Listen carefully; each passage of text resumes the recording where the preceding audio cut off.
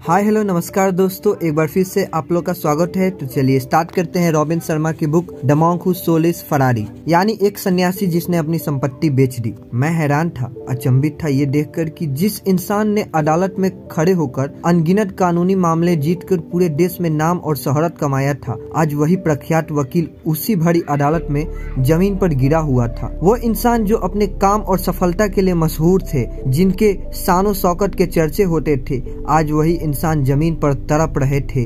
उनको आराम देने की सभी कोशिशें व्यर्थ लग रही थी और मैं बैठा यही सोच रहा था, नहीं, आप ऐसे नहीं मर सकते। जिस इंसान ने ज़िंदगी अपनी शर्त पे जी हो, जिसने अपना मुकद्दर खुद लिखा हो, वो इंसान इसे नहीं मर सकता ऐसे नहीं मर सकता। वो इंसान जिसने अपने हुनर, काबिलियत और कठोर परिश्रम से इतनी सफलता और शोहरत पाई हो वो इतनी आसानी से नहीं मर सकता। महान जूलियट मेंटल से मेरे ताल्लुकात सत्रह साल पुराने हैं। जब मैंने उनके दफ्तर में काम करना शुरू किया था धीरे धीरे हमारे संबंध अच्छे होते गए। शायद मैं उनको सबसे करीब से जानने लगा था। यकीन नहीं हो रहा था कि ये वही जूलियट मेंटल हैं। सत्रह साल पहले क्या तेज था इनकी आँखों में। मानो पूरी दुनिया इन्हीं पर निर्भर करती हो। यह चीज़ को हर चीज़ को अपनी ही शर्तों पर करना या यू कहो कि हर परिस्थिति को अपने काबू में रखना इनकी आदत सी थी। शायद मुझमें भी कुछ बात रही होगी, तभी तो इतने सारे लोगों के बीच उन्होंने मुझे चुना। एक मामूली लड़के को, जिसका दूर दूर तक चालाकी से कोई ताल्लुक नहीं था। हाँ बस ये कि मैं अपने बलबूते पर हार्वर्ड लॉ स्कूल में पढ़ कर आया था। जूलियट के साथ काम करना खुशनसीबी थी मेरी। आपको ये जानकर शायद हैरानी हो, जितनी शक्ति वो दुनिया को दिखाया करते थे, उनके अंदर उतना ही नर्म दिल एक बच्चा छुपा हुआ था, जो भावुक भी था और नादान भी, लेकिन जो दुनियादारी की फ़िक्र से बंधा हुआ था। उनका शानदार भव्य बंगला या चमचमाती लाल रंग की फरारी के पीछे कुछ तो रहस्य था, जो सब कुछ होते हुए भी उनके अंदर एक अजीब सा अकेलापन होने लगा था। कुछ तो राज था उनकी असर, उनके काम और व्यवहार दोनों पे देखने को मिलती थी, और शायद यही उनकी बेचैनी का कारण भी बन रही थी। शायद दुनिया की इस दौर में वो पीछे रहना नहीं चाहते थे। अभी तो शोहरत और कामयाबी भी की भूख उन्हें दिन ब दिन निगल रही थी। ये तुम क्या कह रहे थे? जूलियन, सब कुछ तो था तुम्हारे पास। फिर भी ये कैसे भूख की तुम्हें? क्या कुछ आना था तुम्हें? क्या चाहिए था तुम्हें? किस चीज़ की तुम्हें तलाश थी? आधी उम्र के होके भी वो बुज़ुर्ग लग रहे थे। एक गहरी थकान उनके चेहरे पर हमेशा कायम थी और साथ ही वो हंसना भी भूलने लगे थे। मुझे अब भी याद है, जब वो मुझसे अपने खालीपन की शिकायत करते थे, वो कहते थे कि अब वो वकालत से उब चुके हैं। आज दिल का दौरा पड़ने से वही महान इंसान ज़मीन पर यूँ गिरे हुए थे, जैसे मानो की प्रकृति ने उन्हें ज़िंदगी के असली मायनों से मिला दिया हो। दूसरों के लिए जीना यही वजह थी, जो कि नौजवान जूलियन ने वकील बनने का सपना देखा था। और अब ये वजह कहीं गुम हो चुकी थी। इस खालीपन के पीछे एक गहरी कहानी थी। कुछ लोगों ने मुझे बताया था कि मेरे दाखिले से पहले फर्म में जूलियन के साथ एक बड़ी घटना घटी थी, जिससे उनकी ज़िंदगी बदल दी। तब मुझे ये दीवारें पर्दों से मज़बूत मालूम पड़ी। इस रात से मैं अब तक अनजान था। कोई भी उस बात का ज़िक्र नहीं करता जिसने जूलियन से शायद उनका जमीर छीन लिया। मुझे जानना था कि उस रोज जूलियन के साथ ऐसा क्या हुआ था जिसने मेरे सबसे अच्छे दोस्त की यह हालत की और आज मेरे ही सामने जूलियन पड़े हुए थे और मैं हमेशा की तरह कुछ ना कर सका। अब कंपनी जूलियन के बिना अपाहिज सी होने लगी थी और तुरंत ही आपातकालीन बैठक बुलाई गई। इस बैठक में जो कुछ भी कहा गया, उसने मुझे झंझोर कर रख दिया। सबसे पहले सभी को सूचित किया गया कि जूलियन मेंटल को दिल का दौरा पड़ा था और कि उनकी हालत नाजुक बनी हुई है। आगे जो मैंने सुना, वो शब्द मुझे आज तक याद है। मुझे ये बताते हुए बेहद दुख है कि जूलियन मेंटल ने हमारे परिवार को अलविदा कहने का निर्णय ले लिया है। मुझे लगता था कि मैं जूलियन को सबसे करीब से जानता था, पर शायद ऐसा नहीं था। मैं जानता था कि उन्हें ये सब बोझ लगने लगा था, लेकिन मुझे ये अंदाज़ा नहीं था कि ये नौबत इतनी जल्दी आ जाएगी। हाँ ये सच था। देश के सबसे बड़े वकीलों में से एक महान जूलियन मेंटल अब कभी वकालत नहीं करेंगे। आज पूरे तीन साल बीत चुके हैं। मुझे आज जूलियन के बारे में सिर्फ़ इतना पता है कि उन्होंने अपना आलिशान बंगला और उस लाल फरारी को बेचकर मन की शांति के लिए वो भारत रवाना हो गए थे। शायद अपने जीवन के कुछ प्रश्नों के जवाब ढूँढने। इन तीन सालों ने मुझे भी काफ़ी हद तक बदल दिया। मैं अपने परिवार के महत्व को समझने लगा हूँ और कभी कभार आज भी अपनी मसरूफियत से वक्त निकालकर जूलियन मेंटल को याद कर लेता हूँ। मगर ये ज़िंदगी मुझे चौंकाना छोड़ दे तो इसे ज़िंदगी कैसे कहेंगे? एक दिन मेरे दफ्तर में लगभग तीस साल का एक नौजवान व्यक्ति आया। वैसे ज़्यादा काम होने की वजह से मैं लोगों से कम ही मिलता जुलता हूँ, पर उस तो कुछ तो बात थी उस व्यक्ति में, जो उस पर नज़र पड़ते ही मैं काफ़ी मोहित हो गया। एक अलग सा ही सुकून था उनके चेहरे पर, जो उसे बाकियों से अलग कर रहा था। मैं मानो उसकी मौजूदगी से सम्मोहित हो चुका था कि तभी अचानक उस व्यक्ति ने बड़ी ही विनम्रता से मुझसे कहा, क्या आप अपने सभी मेहमानों से इसी तरह पेश आते हैं, जिसने आपको अदालत के दाव पे सिखाए हैं उनसे भी? ये सुनते ही मेरा होश उड़ गया। मैं चौंक गया, जूलियन, ये तुम हो? हाँ वो नौजवान सा दिखने वाला व्यक्ति जूलियन है। उत्साह की लहर मेरे अंदर मानो उमड़ती जा रही थी। ये आखिर कैसे मुमकिन हो सकता है? मुझे समय लगा ये यकीन करने में, पर यह सच है। एक बदला हुआ जूलियन मेंटल मेरे सामने इस तरह खड़ा है। मानो फरिश्ते भी उसे देखकर शर्मा जाए। ये सहज सी मीठी आवाज़, ये तेज ये ठहराव आखिर क्या किया था जूलियन ने? इन तीन सालों में कि उसे पहचान पाना भी अब मुश्किल हो रहा था। और एक बार फिर जूलियन मेंटल ने मुझे अचंभित कर दिया। आखिर हिमालय की पहाड़ियों से ये कौन सी संजीवनी बूटी खाकर आए थे? मैं मन ही मन ये सोचने लगा, क्या वहाँ कोई जादुई कुआँ है जो इंसान को जवान बना देता है? कैसे ये बुज़ुर्ग से दिखने वाले जूलियन इस तरह बदल गए कि मानो सभी देवी देवता इन्हीं पर मेहरबान हुए हों? आखिर इन तीन सालों में जूलियन कहाँ थे और क्या कर रहे थे? ये सभी सवाल मुझे उत्सुक कर रहे थे। लेकिन इससे पहले कि मैं कुछ पूछ पाता, जूलियन ने मेरे सभी सवाल मानो मेरी आँखों से पढ़ लिए हो। जूलियन ने सबसे पहले ये बात कबूल की कि वो कितने गलत थे कि उनकी ज़िंदगी किस तरह खुशी और महत्वपूर्ण सफलता के रास्ते से भटक गई थी।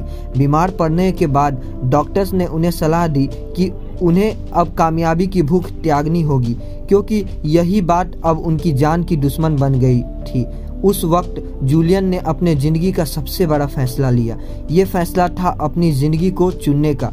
एक अजीब इस रौनक थी उनके चेहरे पर, जब जूलियन में मुझे ये बता रहे थे कि किस तरह उन्होंने अपना घर और अपनी चहेती लाल फरारी बेचकर भारत जाने का फैसला लिया। जूलियन किसी बच्चे की तरह उत्साहित होकर मुझे अपनी कहानी सुना रहे थे। उस जगह के बारे में जहाँ सारी जीवन शैली प्रकृति की गोद में खेलती है, किस तरह वो गाँव गाँव में, कभी रेल से तो कभी मीलों पैदल चलकर अपना बिखरा हुआ जीवन समेत रहे थे।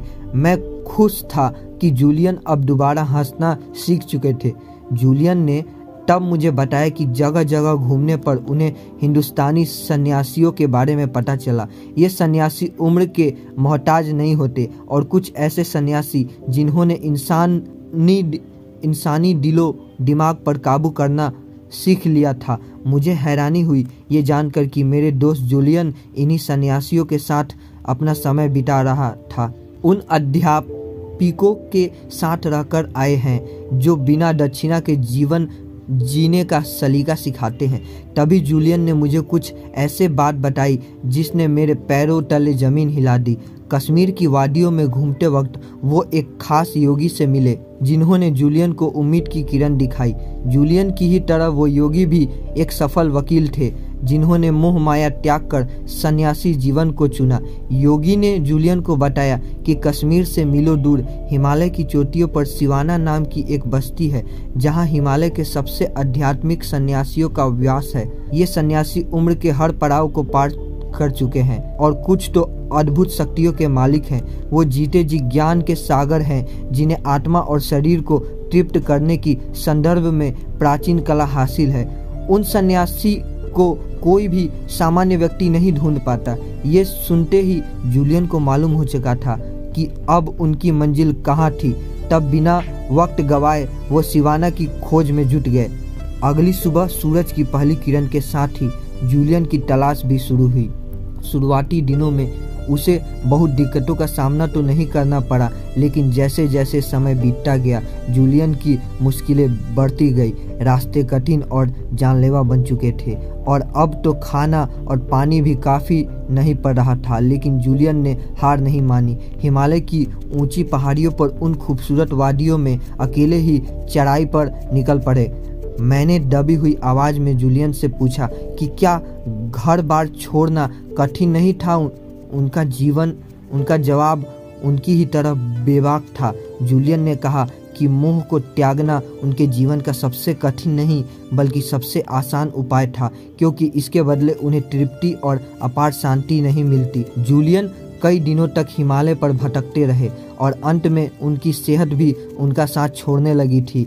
एक मोड़ पर आकर वे टूट से गए। उनकी आँखों के सामने उनकी पिछली ज़िंदगी के पल, किलकारियाँ भर रहे थे। वो क्या ढूँढने आए थे यहाँ और क्या उन्हें वो मिल पाएगा?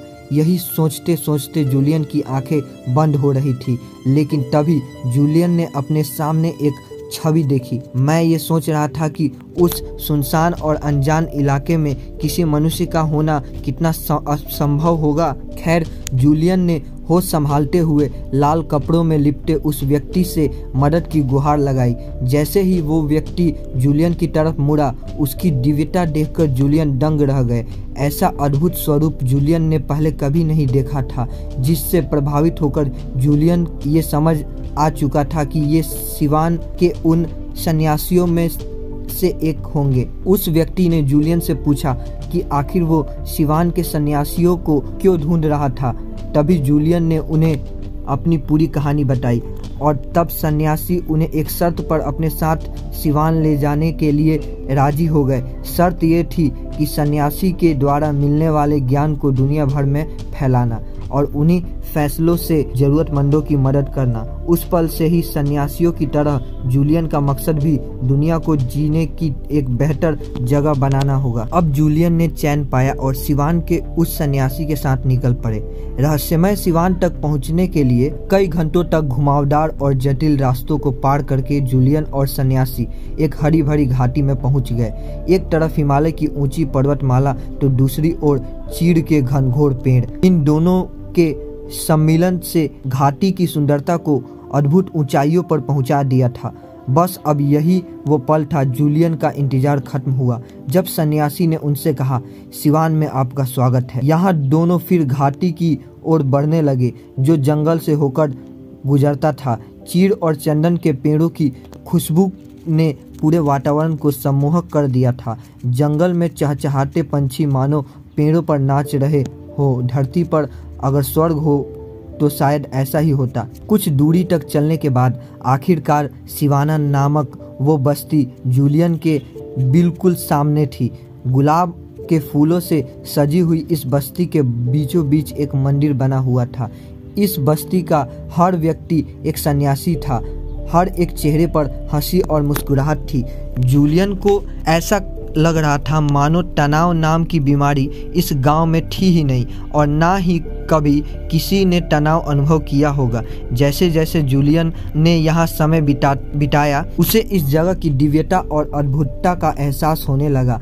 मानो यही वो जगह थी जो जूलियन की खोई हुई जीने की चाह को दोबारा जगा सकती थी, जो कि अपनी कारोबारी ज़िंदगी में गुमराह होकर उन्होंने त्याग दी थी। इसी तरह जूलियन के जीवन की एक नई शुरुआत होने लगी, जो उनके पिछले जीवन से बिल्कुल अलग, काफ़ी असाधारण थी।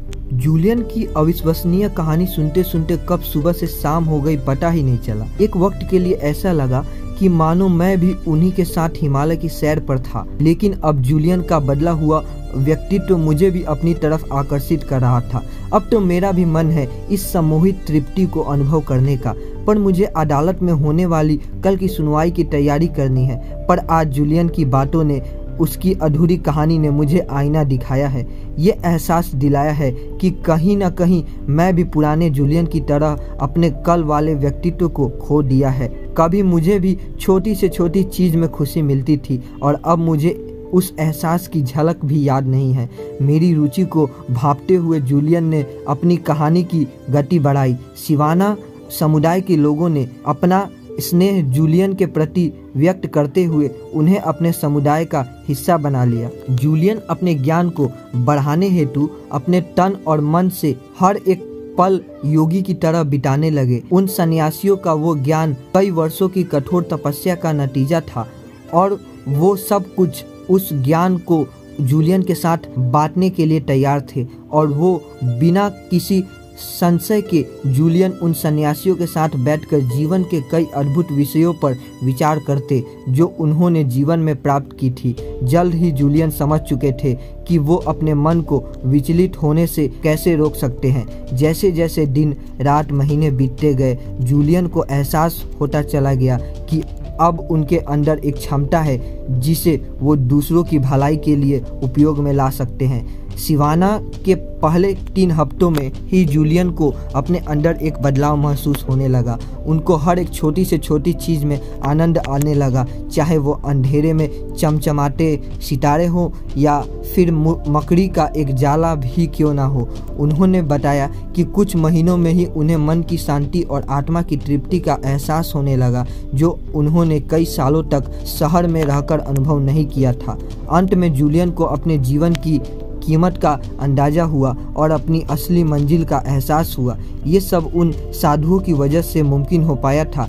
मधुर आवाज़ में उन्होंने ये भी बताया कि हमें पहले अपने मन और आत्मा को तृप्त करना आना चाहिए, तभी हम अपने जीवन और अपने सपनों को जी सकते हैं। तभी अचानक जूलियन ने जाने की बात की, क्योंकि मेरे दफ्तर का समय हो चुका था।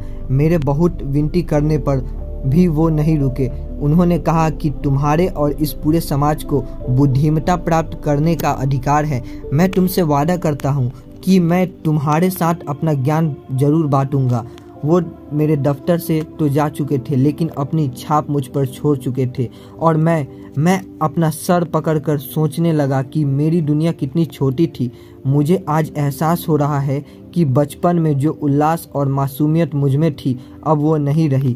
और किसे पता, शायद जूलियन की ही तरह, मैं भी किसी दिन ये सब दुनियादारी छोड़कर उन्हीं की तरह तृप्ति की तलाश में ही कहीं दूर निकल जाऊँ। इन सभी ख्यालों के साथ मैं अपने दफ्तर से बाहर निकला और तेज धूप में अपनी मंजिल की ओर चल पड़ा। जैसा कि जूलियन ने कहा था, वो शाम को मेरे घर पहुँच गए। जैसे ही मैंने दरवाज़ा खोला, जूलियन को लाल रंग के अजीब से एक पोशाक में देखकर मैं हैरान हो गया। जूलियन से दोबारा मिलने की उत्सुकता में दिन भर मैं मुश्किल से ही कुछ काम कर पाया था। इसलिए जूलियन ने भी बिना वक्त गवाए उन रहस्यों को मेरे सामने एक एक कर खोलना शुरू कर दिया और अपनी अधूरी कहानी के बारे में बताने लगे। और ना जाने क्यों मेरे मन को अभी भी जूलियन की बातों पर विश्वास नहीं हो रहा था। अचानक से मेरे मेरे मन से एक उलझन सी आने लगी। क्या हार्वर्ड यूनिवर्सिटी से पढ़ा हुआ ये वकील सच में अपना घर बार त्याग सकता है? कहीं जूलियन मुझसे कोई शरारत तो नहीं कर रहे थे? लेकिन फिर जूलियन ने मेरा शक दूर किया। जूलियन शांति से चाय की प्याली में चाय भरने लगे। चाय प्याली में भरकर गिर रही थी। पर जूलियन रुकने का नाम नहीं ले रहे थे।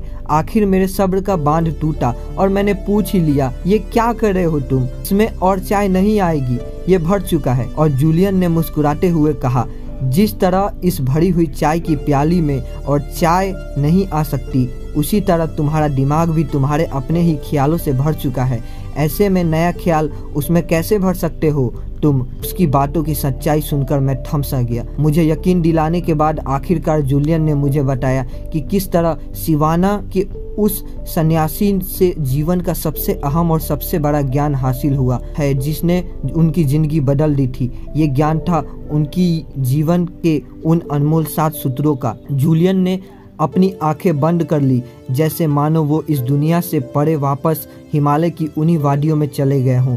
उन्होंने मुझे भी अपनी आँखें बंद करके वो जो बता रहे थे, उसी कल्पना करने को कहा। ये वही कहानी थी जो उस सन्यासी ने जूलियन को सुनाई थी और अब यही कहानी जूलियन मुझे सुना रहे थे। जूलियन कहने लगे, तुम एक शानदार हरे भरे और सुनहरे सुनहरे बगीचे में बैठे हो, पूरा बगीचा बहुत ही सुंदर फूलों से भरा हुआ है। तुम्हारे आसपास सब कुछ बहुत शांत है। इस बगीचे में तुम सच का स्वाद लो, मानो जैसे तुम्हारे पास समय ही समय है। अब सामने की ओर तुम्हें एक लाल रंग का एक बड़ा लाइट हाउस नज़र आता है और अचानक से उस बगीचे की शांति भंग हो जाती है। तभी एक दरवाजे के टूटने की आवाज़ आती है, जिसमें से एक सुमो पहलवान बाहर आता है और बगीचे के बीचों बीच घूमने लगता है। उस सुमो पहलवान ने एक पतली सी टार का लंगोट बनाकर पहन रखा है। जैसे ही सुमो पहलवान आगे बढ़ता है, उसे अपने सामने एक सोने की घड़ी दिखाई देती है, जो मानो कई सालों से वहीं पड़ी हो। उस घड़ी पर पैर पड़ते ही वो सुमो पहलवान गिर पड़ता है और बेहोश हो जाता है।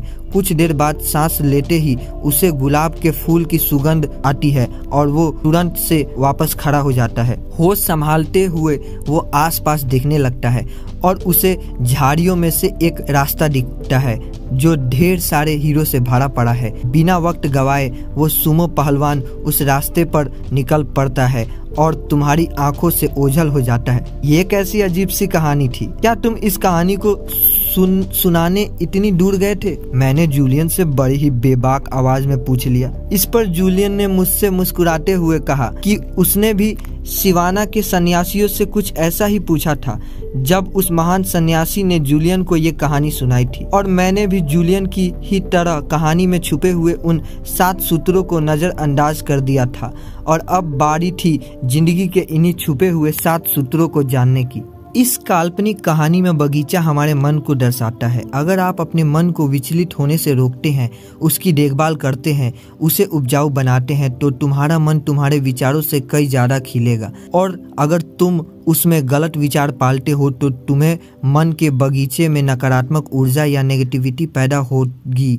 एक बगीचे में हम जैसे बीज बोते हैं, हमें उसी तरह के फल और फूल मिलते हैं। ठीक इसी तरह जब हम अपने दिमाग में लगातार सकारात्मक बातों के बारे में सोचते हैं, हमारा दिमाग भी उसी खूबसूरत बगीचे की तरह हमें अंदर से संतुष्ट और उपजाऊ रखेगा। लेकिन अगर हम अपने अंदर नकारात्मक विचार भरते हैं तो इसका अंजाम भी गलत ही निकलता है। हमारे जीवन में गलतियों का कोई स्थान नहीं होना चाहिए। हमें हमारे जीवन के हर उस एक सबक से कुछ ना कुछ सीखने, सीखते रहना चाहिए। यही है हमारे जीवन का पहला सिद्धांत। दूसरा सिद्धांत। इस कहानी का दूसरा सूत्र छुपा हुआ है उस लाइट हाउस में, जो कि हमारे जीवन के सभी उद्देश्यों को दर्शाता है। जिस तरह एक लाइट हाउस सटीकता से किसी भी नौका या जहाज़ को अपनी रोशनी से सही रास्ता दिखाता है, ठीक उसी तरह हमें भी अपने जीवन के लक्ष्य और महत्वाकांक्षाओं की ओर सटीकता से बढ़ना चाहिए। उन्हें पूरी तरह से जानना ही हमारे सबसे पहला कर्तव्य है। भले ही हमें देर लगे, लेकिन एक ना एक दिन हम अपनी मंजिल तक पहुँच ही जाएँगे। हमें हमारे लक्ष्य की ओर बढ़ने के लिए एक जुनून की बहुत ज़रूरत है और उस जुनून को पाने के लिए हमें अपने अंदर आत्मशक्ति और धैर्य का निर्माण करना आना चाहिए। ये करने के लिए आपके पास पाँच तरीके हैं। पहला, हमें हमारे मन में अंतिम परिणाम का साफ़ चित्रण रखना होगा। उस इनाम की कल्पना करनी होगी, जिससे हमें आगे बढ़ने की प्रेरणा मिलेगी। दूसरा, हमें हमारे ऊपर सकारात्मक दबाव बनाए रखना होगा, जिससे हम हमारे लक्ष्य के मार्ग से मार्ग से भटक न जाएँ। तीसरा, मंजिल हासिल करना यही एक महत्वपूर्ण चीज़ नहीं है। उस मंजिल तक पहुँचने के लिए एक निर्धारित समय भी तय करना अनिवार्य है, क्योंकि हमारे जीवन में कई सारे लक्ष्य हैं जिसे हमें पाना है। चौथा अपने लक्ष्य को किताब में लिख कर रखें और रोज़ सुबह उठकर उस किताब को खोल कर देखें, जिससे तुम्हारे अंदर अपने लक्ष्य की ओर पहुँचने की प्रेरणा बनी रहेगी और तुम्हारा मन विचलित नहीं होगा। पांचवा 21 अंकों का जादुई नियम। ये सब तकनीक और जादुई नियम तुम्हारे, तुम्हें लगातार 21 दिनों तक और निरंतर एक ही समय पर करना होगा, जिससे वो बात तुम्हारे रोज़ाना नियम यानी रूटीन का एक अहम हिस्सा बन जाएगा। तीसरा सिद्धांत। ज़िंदगी का वो तीसरा सिद्धांत कहानी में अजीब से दिखने वाले उस सुमो पहलवान कैंजे से जुड़ा हुआ है। कैंजे एक जापानीज चिन्ह है, जिसका मतलब होता है निरंतर सीखना और निरंतर सुधार करते रहना। एक सुमो पहलवान को अपनी खुराक के साथ साथ अपने अनुशासन का भी ख्याल रखना पड़ता है। ठीक इसी तरह हमें भी अपने जीवन में मेहनत के साथ साथ अनुशासन का भी ख्याल रखना चाहिए। हमें अपने मन को काबू में रखना ही आना चाहिए। हमें उसे अपने शरीर का एक अहम हिस्सा बना लेना होगा। कामयाबी हमेशा हमारे ही भीतर से आती है। हमें अपने आप को, अपने विचारों को कैसे रखते हैं, कामयाबी उस पर निर्भर करती है।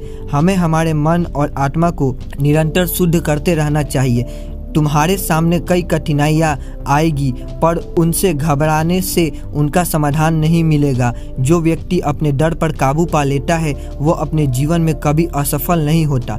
चौथा सिद्धांत चौथा सिद्धांत समझ आता है उस सुमो पहलवान के लंगोट में। जी हाँ वो लंगोट जो पतले तार से बनी हुई थी। कोई भी तार ढेर सारे पतले तारों को जोड़कर बनती है। भले ही ये पतली तारे अपने आप में कमज़ोर हो, लेकिन साथ मिलने पर ये एक मज़बूत तार बनाती है। ठीक इसी तरह हमारे जीवन में वो बहुत सारी छोटी लेकिन अच्छी आदतें होती है, जिन पर अक्सर हम ज़्यादा ध्यान नहीं देते, लेकिन ये सभी साथ मिलकर एक बड़ा फ़र्क लाती है। फिर चाहे वो सुबह जल्दी उठना हो या फिर पौष्टिक खाना खाना हो, ये सभी आदतें भूले भले ही ज़्यादा बड़ी ना लगती हो, लेकिन एक लंबे समय के बाद यही चीज़ें आपको एक बेहतर इंसान बनाती है और आपकी सफलता तय करती है।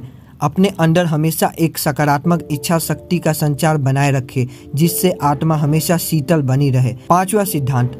इस कहानी का पांचवा सिद्धांत उस सोने की घड़ी से जुड़ा हुआ है, जिसे उठाते वक्त सुमो पहलवान गिर जाता है।